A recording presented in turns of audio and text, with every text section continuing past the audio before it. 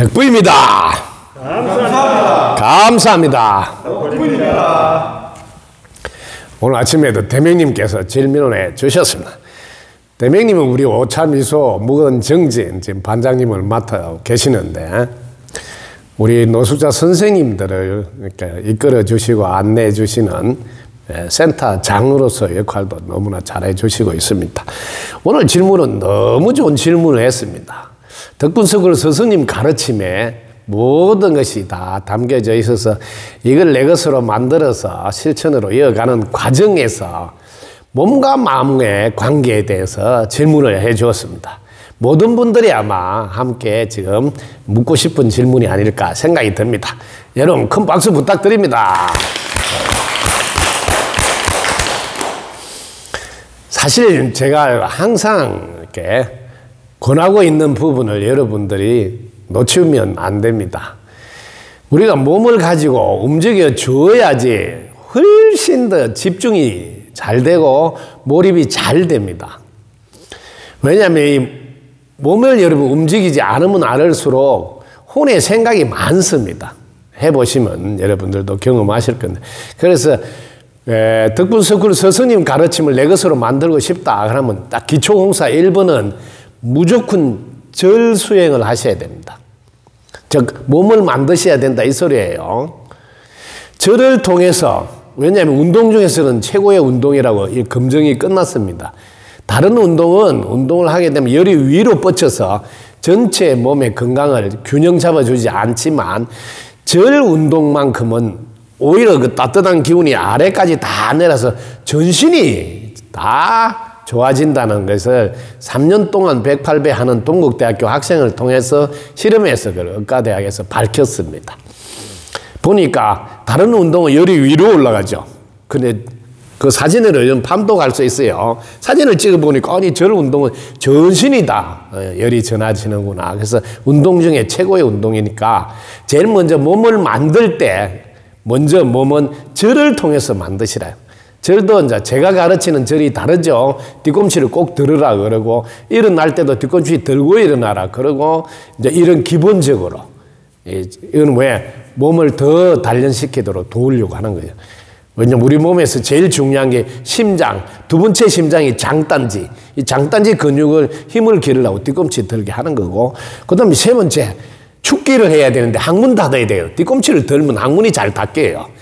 제가 이런 비밀을 저를 통해서 만들어라 하는 거거든요. 그럼 몸도 튼튼해지만 기본적으로 항문 닫기에 그럼 장단지 근육 키우기에 이런 기본이 딱 갖춰진다. 그럼 몸 하는 거는 어떤 일을 해도 재미나게 몸이 따라가 준다고요. 그래서 이때 덕분 송 노래를 겸비해라. 그래서 네 마리 토끼를 동시에 잡으라 하는 거예요. 이게 돼야 됩니다. 대부분 이게 안 된 분들은 오래 가기가 어렵습니다. 반드시 이걸 하고 그리고 그 나머지 시간은 계속 덕분입니다. 따라다녀야 됩니다. 예를 들면 페인트 하나 칠해도 덕분입니다. 노래 부르고 칠하는 사람하고 그냥 칠한 나이 된 피곤한 게 훨씬 다릅니다. 덕분입니다. 감사합니다. 노래를 부르잖아요. 그러면 하루 종일 일했는데도 일을 내가 하는 게 아니라 덕분입니다가 일을 한다고요. 어제 우리 만덕 향님께서 자기가 일을 이렇게 10시간씩 이렇게 밭일을 하고 뭐 일을 농사 일을 하는데 너무 멋있는 말씀을 표현해 주셨어요. 내가 일을 한 적이 한 번도 없고 뭐 법문이 일을 하더라는 거예요. 법문이. 이거는 너무 중요한 말이에요. 왜? 종일 예도 여러분 법문을 들으면서 하면 이거는 법식을 먹으면서 하잖아요. 달라요. 왜? 피곤하지 않고 언제 일을 했는지 모르게 일이 해져 있고 그리고 일도 딱 맞게 돼요. 근데 여러분은 머리를 가지고 굴려서 막 이거는 이래야지 저래야지 뭐, 뭐 에너지 소비도 많이 될 뿐, 때로는 딱 맞을 때도 있고 안 맞을 때도 있어요. 이거 꼭 명심하세요. 해보세요. 특히 덕분 스쿨 스승님 법문을 들으면서 예를 들면 공장에서 일을 한다고 해보세요. 법소장님이 자기 체험을 어지 이야기해 줍디다. 왜냐면 이게 자기는 이게 안 해본 거라 이렇게 이게 공장에서 제품이 나오면 이걸 딱 걔가 봉지에 잡아여야 되는데 이게 탁 뛰가지고 잡아있는 게 잘 안 되더래요. 숙달이 안 돼 있으니까, 그죠? 근데 덕분송을 하면서, 덕분송을 하니까 뭘 하는지 뭐 그냥 착착착착, 이 재현한 게 똑같더래요. 와. 자기가 일부러 할, 할 때는 이게 막 일부러 막 맞춰야 되는데 너무 신기하고 특히 법문을 들으면서 하면 오히려 법문이 들려서 거기 집중하다 보면 뭐 기계에 손을 다치거나 뭐 이런 일이 생길 것 같은데 전혀 그런 일이 안 생기고 훨씬 더 능률이 오른데 전혀 피곤하지가 않더라고. 어제도 예, 우리 만덕형님 이야기 듣고 야, 그거 딱 맞습니다. 제가 체험한 거라고. 그게 뭐냐면 첫 번째 법문을 듣고 있을 때 무심에 있게 되니까 무심은 어떻게 해요? 딱 맞게 돌아가게 해준다. 그죠? 두 번째, 성당 스승님은 내 목소리를 듣는 일을 어떻게 즉시 해결대로 해준다고 원력을 세워서 수없는 세월 동안 에너지를 모았으니까 덕분석을 스승님 법문 목소리를 듣는 순간 다 해결되도록 되잖아요. 이 박자가 딱 맞죠? 그게 저절로 되는 거죠. 그렇게 법문이 일을 한다 하는 말이 너무 딱 맞다 어제 막 그렇게 기뻐하시더라고요. 왜? 자기 체험하고 똑같다고. 그래서 지금 덕분 스쿨에서 계속 공양간에도 법문 들으면서 하라 그러고 노래 들어놓고 그 고마움으로 일을 하라고 하는데 법문을 안 틀어놓는다는 게 법문을 안 듣는다는 거죠. 그래서 여러분들이 이게 일러주면 그걸 실천으로 옮겨서 해보면 일을 해도 피곤하지 않다. 뭐 다리가 아프다. 뭐 이런 소리가 안 나온다는 거지. 왜? 무심해서 하기 때문이라고요. 그걸 듣고 있어봐라. 그 저절로 무심이 되는데. 그리고 딱 맞게 돌아가는데.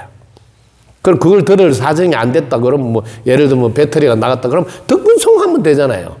그리고 우리 요즘 스피커 좋은 거 있으니까 여러분이 이렇게 뭐 작품을 만드는 장소는 다 그거 틀어놔라고 내가 하잖아요. 그 덕분송을 틀던지 법문을 틀어놓고 작업을 하라고. 그러면 작품을 더 잘 만들 수 있다고. 그러니까 이런 이야기를 일러줘도 안 하신다는 거지. 지나가고. 어, 오늘 좋은 질문 해주셨어요. 여러분 부탁드릴게요. 몸을 만드는 것은 저를 통해서 꼭 하시라. 특히 이렇게 생각이 많아가지고 힘든 분들, 생각 틀 속에 갇혀 있는 분들 꼭 제가 권하고 싶어요.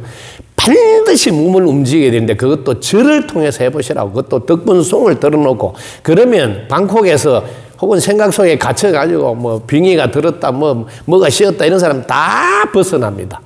예, 우리 법수양이 자기 체험을 이야기하면서 자기도 늘 영가에 이렇게 힘들게 시달려 왔는데 스승님 그 절수행을 덕분송으로 해라 해서 그로부터 벗어날 수 있었다고. 왜? 몸이 따라가지 않으면요, 마음은 아무리 쓰더라도 한계가 있다고요. 그래서 몸을 만들어 할때 학문 조이가 그래서 중요하거든요. 왜? 에너지가 계속 따라준다고요. 왜? 축기를 되니까. 그래서 덕분석을 스승님 가르침이 그 어떤 분들의 가르침보다 몸에 포인트를 두고 안내를 하고 있다는 거죠. 다른 데는 가보시면 마음 수련이나 해서 마음에다 포인트를 둔다고요. 덕분석은 오직 몸에다가 포인트를 둔다고 왜? 몸을 가지고 써야 되기 때문이다고요. 그럼 몸 쓰려고 지구에 왔다고요. 머리 굴리고 앉아 있으려고 온 게 아니라고. 이거 명심하시고 꼭 활용해 보세요. 그럼 멋지게 여러분 갖고 있는 뭐 무심의 능력을 마음껏 발휘할 수 있다고요. 음.